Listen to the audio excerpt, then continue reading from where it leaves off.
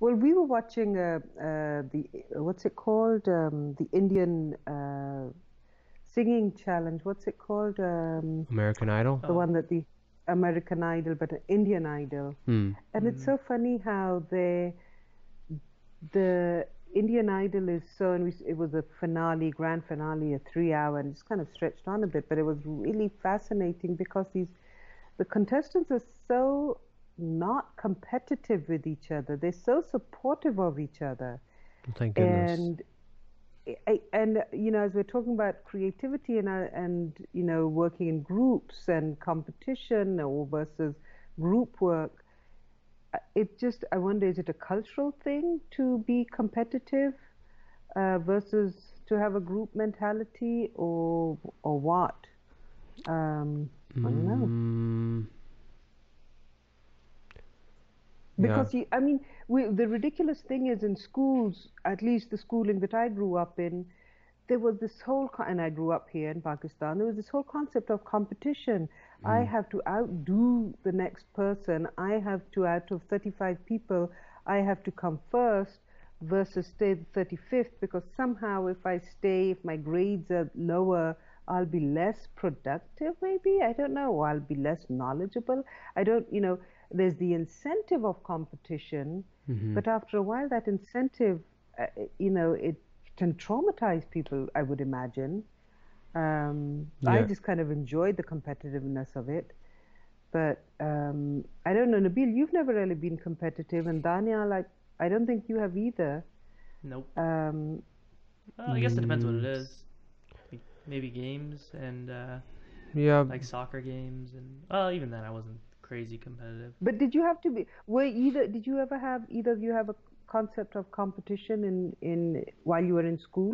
Nope, Um. it was not. Not There was- really. Well, I mean, there it's good to have uh, what you would call healthy competition, where you're trying to outdo the other people, but like not in a malicious way. I don't know if we have. If, Yeah. But even then, there was no like, uh, like, oh, I I did better than you, unless like the only thing I could think of was like no one wanted to be last. I don't think like, you didn't want to fail in class because you're like dumb. Wouldn't that be? Yeah. Would that would be a really uh, comfortable feeling to say, you know what, I'll be last.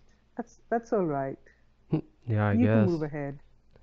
Wouldn't it be? I, I think it would be so comforting. Yeah, no, I agree. I'm sure the people who do feel that. Who think, go ahead, go ahead. You know, Yeah. yeah, I, I don't need to catch up because I know there's nothing, there's no winning there's at no the winning. end. Yeah, Well, and that'll help Because you, how would you define winning? and then that would help you concentrate on actually like being productive too. As a, things you actually enjoy doing, maybe, or would enjoy Yeah. working on. yeah. yeah, I Well, I always look at the Yeah, go ahead. extreme, just uh, but on a kind of different uh, topic. Like, I think like, okay, what's the worst thing that could happen like in my life? And like, the worst is probably like be homeless. Um, and then once you accept like, all right, yeah, like if I'm homeless, I'll probably go to homeless shelter and then like figure it out. Like once you accept that as like a, a possible option, like then doing things like I don't know, applying for jobs, uh, studying this, studying that, uh, changing your direction in your career. Those things like don't, or at least the the fright of failure is not um, as strong or potent, if that makes any sense.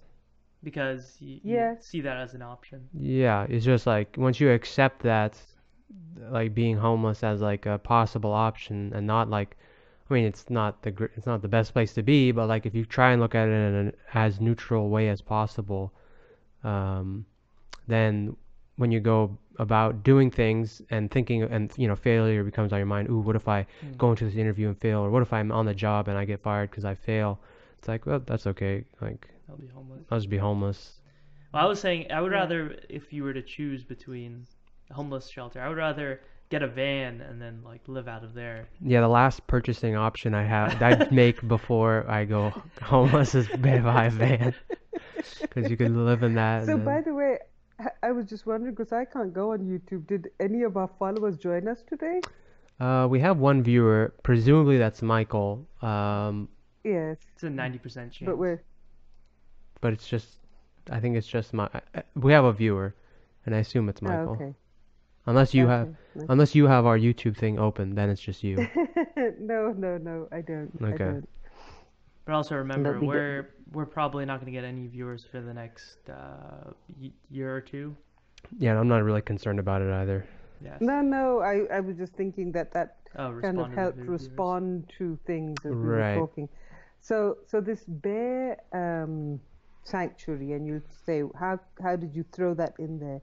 I was just so surprised that just around the corner from us, there's this whole bear sanctuary, and there was a sad element to it and a happy element to it, or a funny element to it. The fact that we're all at retirement mode and we're in the vicinity of a whole group of bears who are retired, and they use the word retired, which is a really um, it's it's kind of a misnomer because they're not really retired bears. These are bears who have been abused, and someone decided that these bears should no longer be abused by they're abused by uh, making them dance or or bear baiting and and now they have this quiet space that they're going to come and visit them. You know, we've been laughing about the fact that we feel like we're bears as well, and we should go down and visit them Bigly Bear. um, because we're retired. Yeah, But it I was like a, bears. it was surprising uh, that, that that should be something that's set up in the in our vicinity, just because uh, you know there's not a lot of support for wildlife in this area anyway, for animal rights and so on. right. And just to Um, interject, um, so yes. Michael has uh, started chatting. Um, he says, yes.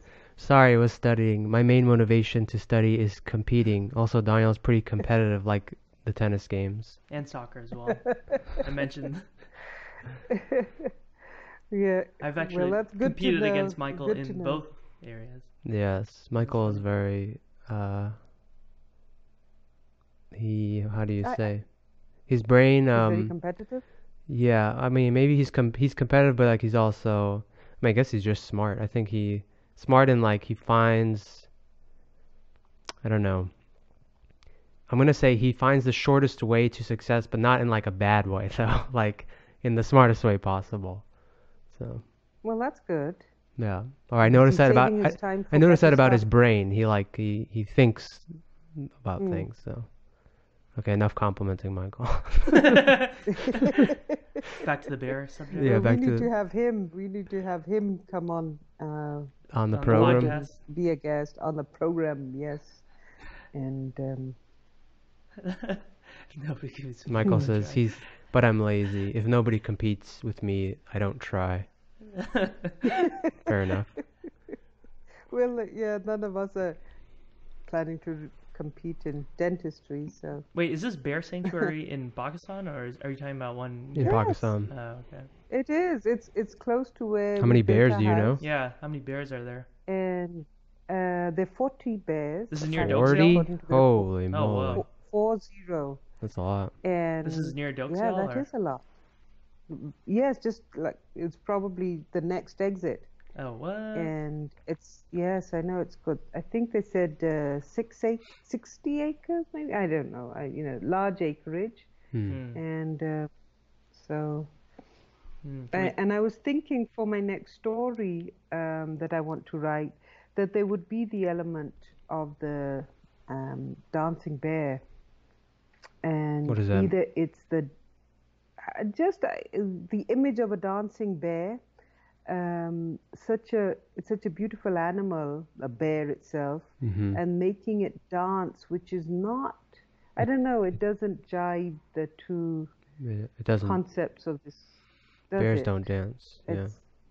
No they don't and that's Some of them exactly wrestle. why the sanctuary's been made because they're made to do things which are not natural to them um, yeah and i wonder you know if as humans we're made to do things which are not un- which are not natural to us hmm um, Sitting at a desk where from nine we to would- is not natural. sitting at a desk that's not not natural i guess but But what if I want to, sit sit at for a a while don't you, You don't can. you have to sit for a while to to think and is sitting not more human i guess not no, more human chair, would be though. like walking long distances. I don't know.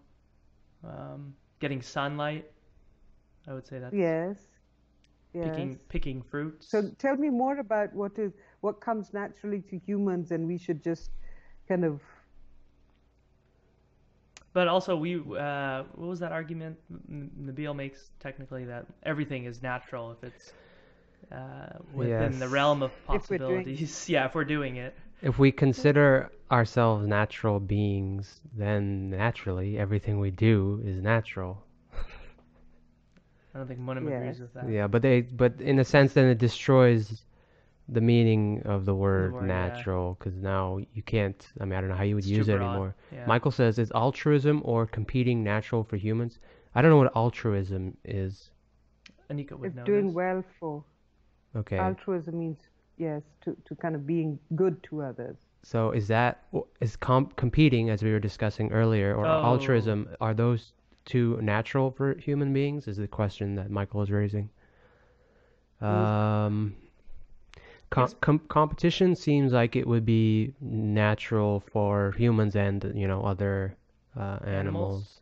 for like territory or Uh, Yes, yeah, for for, food, survival. For territory. survival, oh, but we don't need it. We're not at that point in life in our history, human history anymore, that we need to compete to that the extent that I think that com- competitive element in the physical competition of war and other territory gaining uh, endeavors is a very dated concept of I- I th- competition. it's not natural anymore. Or Yeah. it shouldn't be. We I would don't say need it's to. I would say it's probably shifted, right? So it's no longer a physical thing. It's a Uh. Yes. It's a mental like thing because I mean, clear. I mean, obviously there's still people who you know are starving or can't get food or whatever.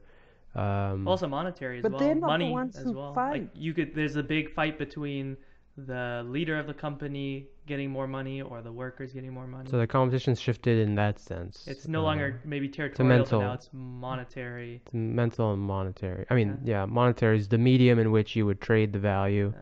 Um, And it It's a- depends where you're talking about, right? Because technically the Israel Palestine thing is probably still territorial. right. Um, yes. And but- Mike, Michael is But saying, it shouldn't. We should be past that as a human race. uh, we shouldn't be focused on territory. is it- yeah, What is Michael saying? I agree Because with- What's Michael saying? He's saying, is it similar to the competitiveness of capitalism versus altruism of Of socialism? Michael's really pulling in the depth here. He's yes, he is. competitive. I, I mean, uh, what is the altruism of concept- socialism? Can we qualify that for me? As in, What does that mean? like we're Well, all putting soci- together our resources to help everyone. Oh, gotcha, no gotcha, matter gotcha. versus gotcha. competitiveness, To- like to oh we're yeah versus like uh, competitiveness of capitalism is like we're motivating each other to work harder, uh, but for ourselves, not for the group. Gotcha. Um, And and if the society benefits from our individual endeavors, then that's a plus. I don't think the in, intention is for society to, but in the whole socialism concept, it's the society versus the individual. Right. So you're saying, but you're saying, were you arguing that um, being our competitiveness uh, Is no is longer no required. longer like necessary or of value? Some of the competitiveness that Like we territory. continue should be should die a natural death. Um, What about like not, mental clearly. warfare? We hold on to it. What about mental warfare? Mental warfare. Mental battles, like uh, the battle of the wits. Yes. Is that something that Well- should be happening and occurring among at least a you human need some society? level of tension. You need some te- some level of tension for growth, I imagine. Otherwise, you're passive. Mhm. Otherwise, you just And let for things happen. law reasons, law and order. You need to compete the ideas of Right. two What's different how we should live the live our lives and stuff like that. I guess we're Mm-hmm. not also we're not considering that some individuals and many individuals have a very different perspective of um, And I, I feel that that comes naturally. You could say it's cultivated in them, but the way they uh, behave in life, I mean, the fact that individuals are violent hmm and it's not about the money or and it's not about the things they want. It's just about control. They need to control. Um, some are devious. I mean so the negative elements in humanity are, are basic are, you know we're born with them. And some have them more pronounced than others.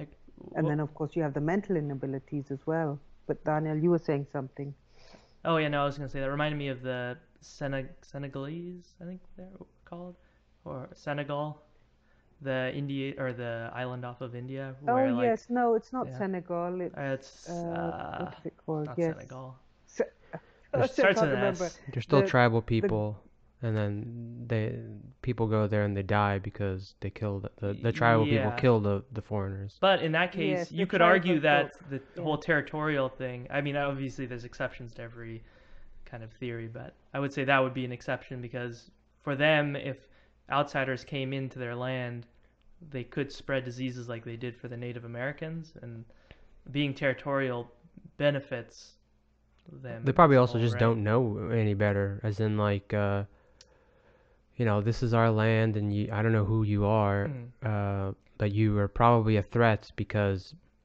historically uh, other groups of humans would have been threats to you, Mhm. so they're just like they're sticking with that. And it wasn't even that long ago, too. Like I think in the '60s there was like uh, I don't know. I mean, it, I mean, it it happens was, today in the form of gangs, but Yeah. uh, Uh, those are the old, the first type of gangs, I guess you could say.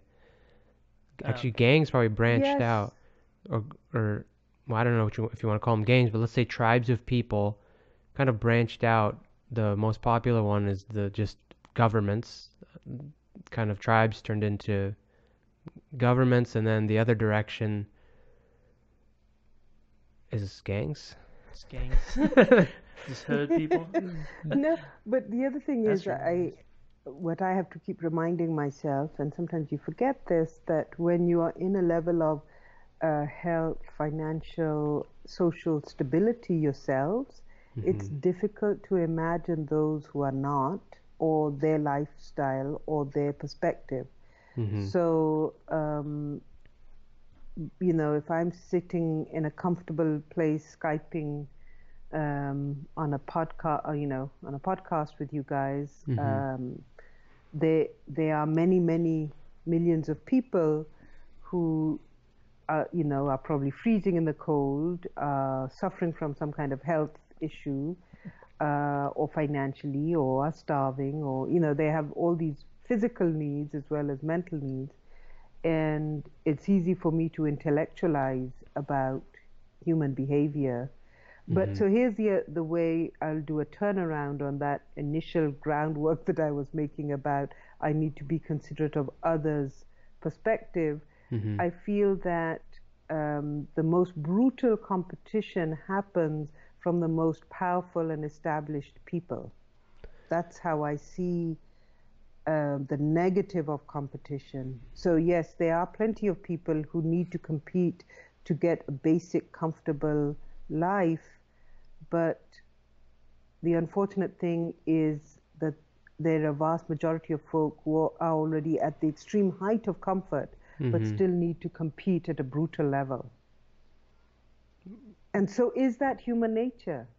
Is it never going to go away? When you say brutal, it all, what are you referring to? brutal? I mean, um, whether it's Talking about, like, um, Like, armed conflict, whether Mm. it's um, um, what's it called, a business conflict of Mhm. you know taking over someone's finances and therefore destroying them. mhm. whether it's uh, controlling masses of people, um, masses of people's intellect and, and the education that you provide. Mhm. So, and Well, I guess that's more power than competition.